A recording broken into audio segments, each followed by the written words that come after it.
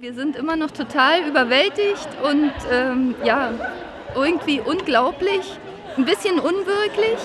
Man, man steht ganz oben, hört die Nationalhymne und weiß nicht, was passiert. Also man begreift es wirklich jetzt erst im Laufe der Tage danach.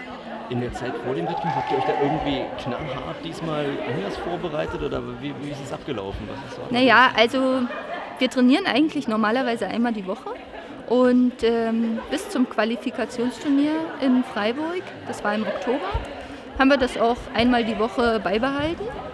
Ähm, als wir uns dann qualifiziert haben und gehört haben, es geht zur WM, wurde auch bei uns der Druck größer und dann haben wir gesagt, okay, also jetzt müssen wir ein bisschen noch was tun und wir wollen uns ja nicht blamieren und deshalb ähm, dann auch öfter noch trainiert, also zwei oder manchmal sogar dreimal die Woche. Stellt mhm. man, wenn man weiß, man fährt zur WM so, so nochmal so einen neuen Tanz um oder muss das dann so ein ganz spezielles sein? Wie ist das so in der mhm. Tanzwelt, sage ich mal? Naja, also wir haben dann schon auch Videoanalyse betrieben von dem Tanz äh, zur Qualifikation.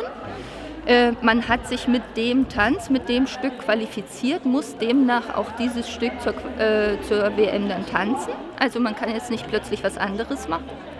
Aber man kann schon an dem Tanz auch ein bisschen feilen und äh, korrigieren. Und das haben wir auch getan. Also Stellen, wo wir dachten, nee, das ähm, reicht jetzt nicht, das ist zu langweilig, zu einfach. Da haben wir schon noch eine Schippe draufgelegt ähm, und das versucht zu verbessern. Denn genau an dem Abend, als wir beim äh, Landessportbund bei der Sportgala waren, genau an dem Abend kam nämlich eure Meldung. Es wurden gerade die erfolgreichsten Sportler im Land Brandenburg ausgezeichnet. Und in dem Rahmen dann kam diese Meldung und wir, ja, Cottbus hat sowas auch. Aber ganz stolz, das ist eine hervorragende Leistung und wir wissen, dass da viel Engagement dahinter steckt, Eigenengagement, ne? dass da wenig äh, von außen passiert und das ist natürlich einwandfrei. Überhaupt, ich sag mal, wenn junge Leute aktiv sind, wenn die in ihrer Freizeit was wirklich Sinnvolles tun, ihren Körper richtig fit machen, was Besseres gibt es ja überhaupt nicht.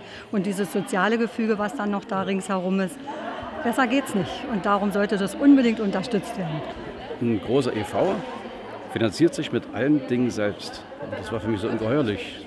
Bis zur WM zu tanzen, aus eigenen Mitteln, ohne irgendwo einen Fördertopf im Nacken zu haben, das wurde natürlich dann ein bisschen mit einem großen Fragezeichen versehen. Ich bekam die gleichen Antworten immer wieder, die machen das alles aus eigener Kraft. Und da habe ich mir gesagt, das darf ja wohl nicht so sein, da muss irgendwas passieren. Also helfen wir. Ich habe es das erste Mal jetzt gemacht, aber es wird nicht das letzte Mal gewesen sein. Das habe ich schon, also mit dem Stadtsportbund habe ich schon gesprochen. Da gibt es noch neue Projekte, die da anstehen, wo wir uns auch mit reinhängen werden. Und ich denke, die Mädels werden auch nicht aus der Welt sein. Also das sind nicht vergessen, das wird wohl auch hier noch weitergehen im Sponsoring. Also der Tanzsport an sich, unsere Sportart ist jetzt nicht so populär. Ähm, von daher gibt es jetzt nicht so viele Anhänger dafür. Und auch in Sachen Spendengelder oder Sponsoring ist das eher so ein bisschen mau, sage ich mal. Und ähm, wir müssen uns eigentlich vieles selbst finanzieren.